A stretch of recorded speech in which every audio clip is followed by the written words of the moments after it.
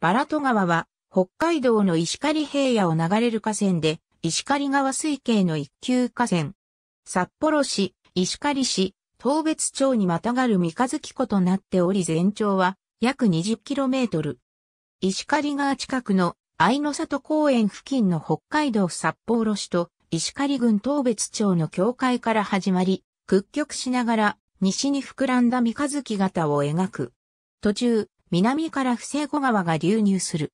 下流では石狩放水路を分け、志美運河を通じて石狩川に合流する。志美運河から東側をマクンベツ川と呼ぶ。実質的にバラト川の延長であるが、現在はバラト川の支流の扱いとなっている。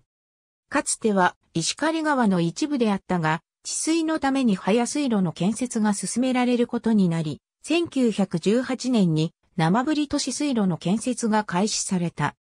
1931年に生振り都市水路が完成すると取り残された箇所を旧石狩川都市、1965年には志美運河分岐点により上流川小原戸川、下流川を幕君別川と解消した。雨が降らない限り流速は極めて遅く、長い池の連なりに近い。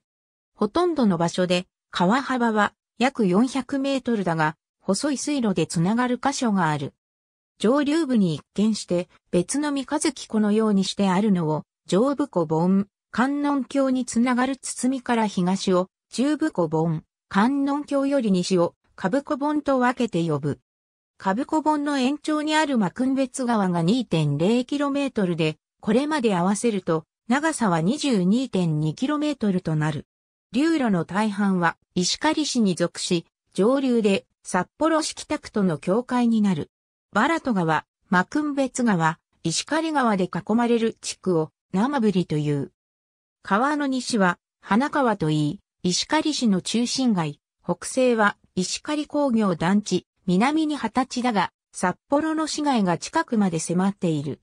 バラト川は古くから漁業に利用されてきた。釣り人も多く、冬には凍った川でワカサギが釣れる。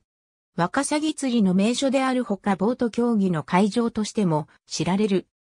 戦前の治水工事によって石狩川から切り離されたために流れがほぼ止まり、1970年代以降になると周辺の宅地化とともに生活排水などで水質が悪化した。現在でも札幌市の下水の30%はバラト川に排出される。バラト処理場、タク北処理場、創生川処理場、布施後川処理場の4つの処理場からの水が直接、あるいは支流経由で流れ込む。